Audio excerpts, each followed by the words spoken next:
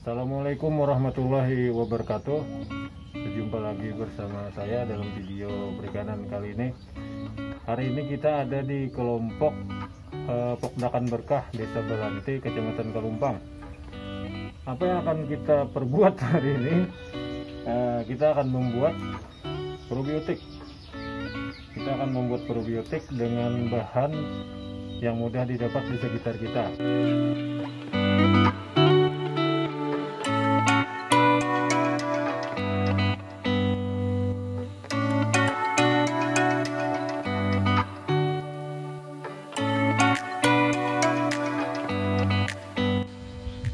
Bahan yang disiapkan adalah kelapa yang sudah tua, ragi, kemudian Yakult sebagai starter bakteri, dan molase. Berhubung molase ini cukup sulit didapat di daerah kita bisa menggunakan gula merah sebagai penggantinya.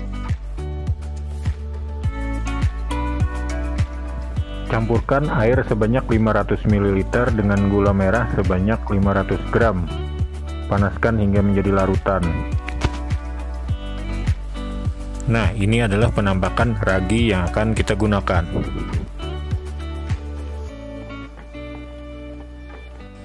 Ragi tersebut kemudian kita haluskan agar mempermudah proses pencampuran dengan larutan.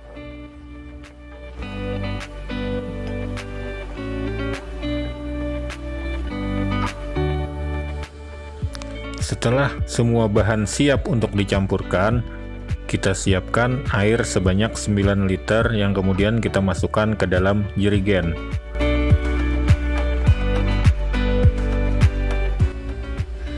Kita mulai proses pencampuran ke dalam larutan. Yang pertama-tama kita masukkan adalah Yakult.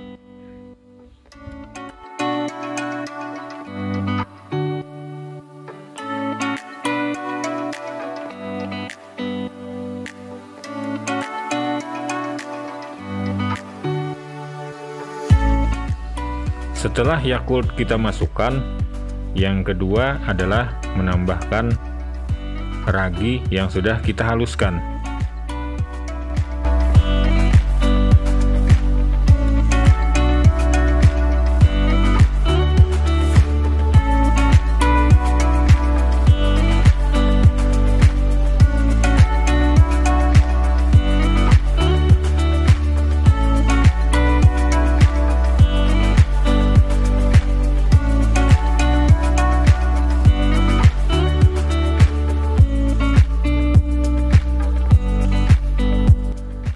Berikutnya kita masukkan larutan gula merah. Kita masukkan perlahan sampai semuanya habis.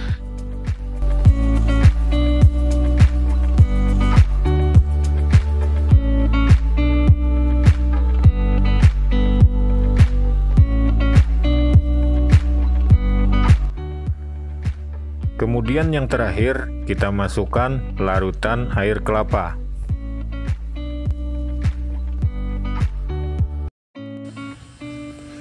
Setelah semua bahan selesai kita masukkan, jangan lupa untuk menutup rapat jerigen.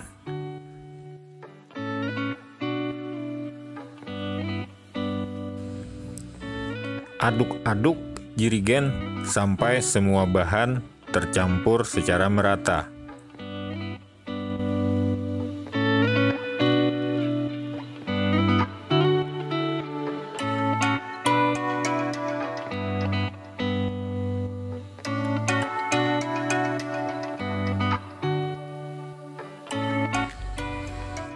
Proses pembuatan probiotik sudah selesai.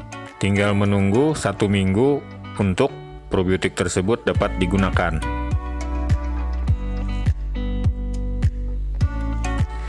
Nantinya probiotik ini akan kita gunakan sebagai bahan campuran pada pakan sebelum kita berikan kepada ikan.